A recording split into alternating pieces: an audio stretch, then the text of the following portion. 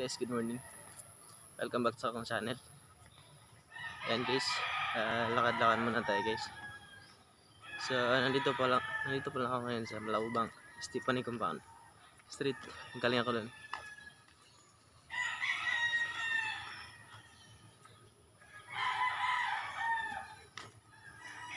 So, ah,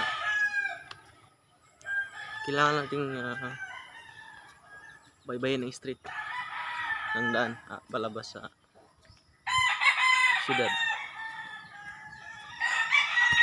So in this, ah, medyo tahimik ang paligid, walang tao. And, and lumayo na tayo. Hiking.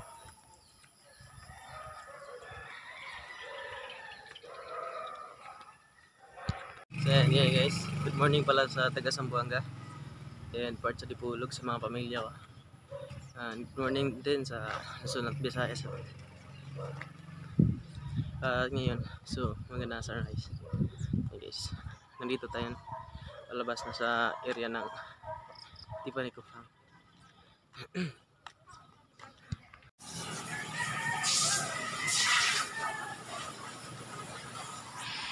So yan guys, lakad-lakad muna tayo.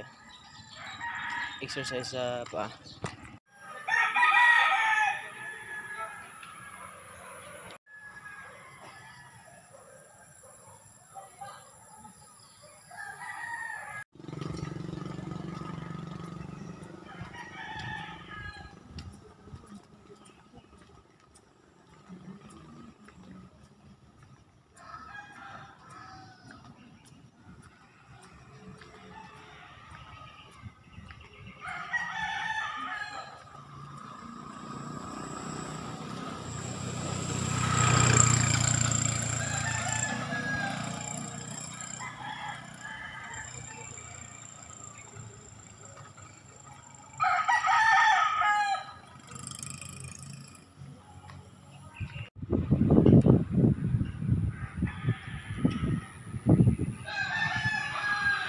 Yun nga guys, may nakita tayo. Daan pa baba. So, baybayin natin to. Wow. Wow, ang ganda guys. Sinsya na guys the light. So yan guys.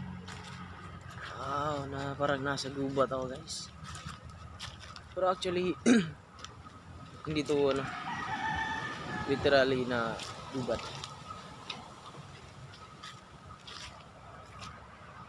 Isa to sa, isa to sa mga puno na ano yan yan guys. Mangga yan mangga. Ah, kung nakikita niyo guys parang nasa ano tayo sa malaking ah, malaking gubat. So ah kaya tayo nandito kasi naglakad-lakad tayo. So nakita, may nakita tayo nga pababa. So ang ganda guys. Tingnan niyo guys oh. so kahapon guys nung naglakad tayo sobrang lakas na ulan lakas na ulan so kahihinto pa lang ng ulan. Nung araw na yun so d- dahil sa lakas ng ulan at saka malakas ang hangin tingnan nyo guys may mga ano bumagsak. Bumagsak na ano. Bugad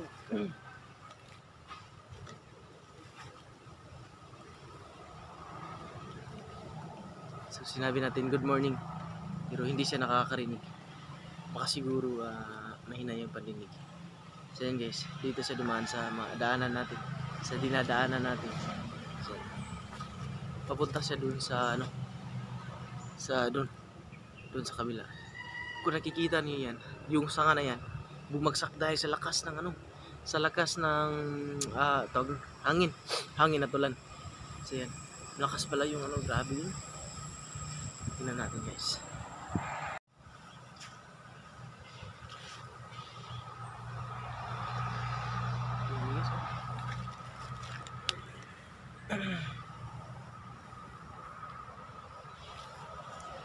Oh.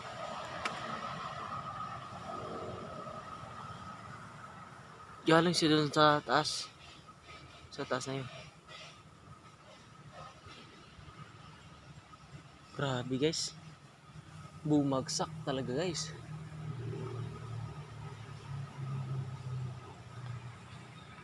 So yun lang guys. Thanks for watching my video guys. And don't forget to like and subscribe my channel. And see you to my next video guys.